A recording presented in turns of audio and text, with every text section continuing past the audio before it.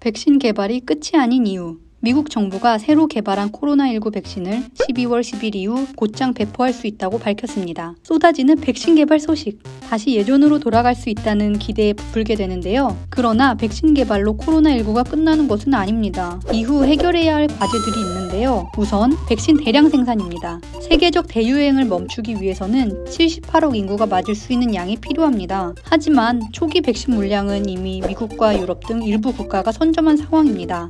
백신이 선진 국에 쏠릴 수 있다는 우려가 현실이 되는 모양새인데요. 세계보건기구가 중저소득 국가를 위해 백신을 확보하곤 있지만 그 양은 2억 5천만 명분에 불과합니다. 자칫 백신 인종주의 등 이기적인 상황으로 치달을 수 있는데요. 이를 대비해 G20 정상들은 백신과 치료제를 공평하게 보급하자는 G20 정상선언문을 채택하기도 했습니다.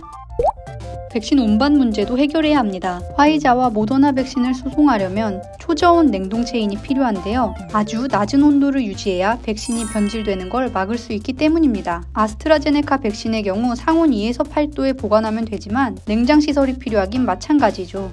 기술과 자본 등 여건이 갖춰진 선진국에서는 큰 문제가 아닙니다만 저소득 국가가 이를 마련하기는 쉽지 않습니다. 인도네시아의 경우 초저온 유통이 필요한 두 회사의 백신을 구매하기 어렵다고 밝히기도 했습니다. 국제학술지 네이처는 가난한 나라들의 적합한 백신을 만들지 않는 것은 도덕적으로 잘못됐을 뿐 아니라 전염병을 막는데 근시한 적이라는 사설을 실었습니다.